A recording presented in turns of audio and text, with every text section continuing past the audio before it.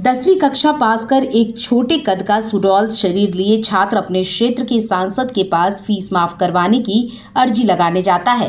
लेकिन सांसद का रवैया उसकी कोई इज़्ज़त नहीं करता और उसे दुत्कार कर भगा दिया जाता है। अपमान और क्रोध का घूंट पीकर ये चौदह से पंद्रह साल का लड़का सांसद के घर से बाहर निकलता है और खुद कागज़ पर अपना नाम लिखता है। नाम के आगे एलएलबी एडवोकेट, विधायक, सांसद, गृह मंत्री जैसे बड़े पद जोड़ लेता है। अब साठ साल बाद आज यही लड़का उनासी साल की उम्र में अपने सियासी कद से सभी को दंग कर देता है। यही वह लड़का है जो अयोध्या में भाजपा को हार का स्वाद चखाकर पूरे देश को चौंका दिया है।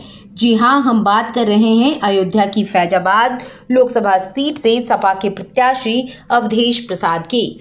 अवधेश प्रसाद ने अयोध्या में भाजपा के प्रत्याशी लल्लू सिंह को चौवन हज़ार वोटों से मात देकर यहाँ से नवनिर्वाचित सांसद बने हैं। उनासी साल के अवधेश प्रसाद अपने सियासी करियर में नौ बार विधायक, छह बार मंत्री रह चुके हैं।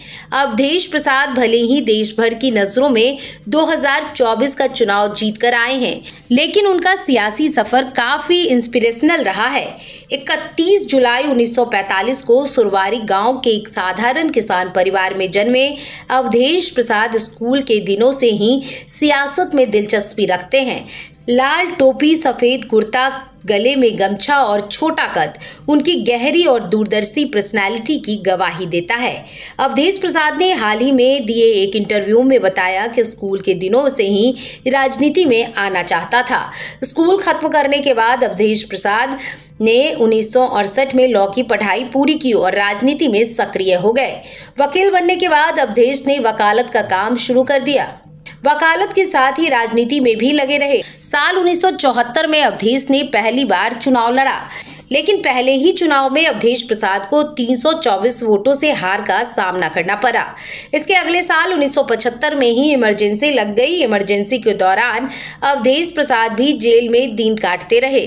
बीबीसी हिंदी को दिए इंटरव्यू में अवधेश इमरजेंसी के दिनों का एक किस्सा बताते हैं। मैं आपातकाल के दिनों में जेल में बंद था। इसी दौरान मेरी माँ का निधन हो गया। माँ के शव को चार दिनों तक घर पर रखा गया। लेकिन मैं जेल में होने के कारण माँ के अंतिम संस्कार में हिस्सा नहीं ले पाया। इस बात का मलाल मुझे ताउम्र रहा और आज भी है। अवधेश प्रसाद ने इसके बाद कभी हार नहीं मानी और 1977 में अयोध्या की सोहवाल विधानसभा सीट से विधायकी का चुनाव लड़ा। इस बार अवधेश की किस्मत चमकी और जीत कर विधायक बन गए। इसके बाद फिर कभी अवधेश ने यहाँ से हार का स्वाद नहीं चखा। नौ बार इसी सीट से विधायक रहने वाले अवधेश प्रसाद, छह बार मंत्री भी रहे हैं। अवधेश प्रसाद ने अब 2024 में अयोध्या की फैजाबाद सीट पर भाजपा को हराने के बाद पूरे देश में अपने नाम का सिक्का चलाया। अब अवधेश प्रसाद के नाम को न केवल उत्तर प्रदेश, बल्कि पूरे देश में विशेष तौर पर जाना जा रहा है। अवधेश प्रसाद की अब तक की सियासी यात्रा काफ़ी प्रेरणादायक रही है।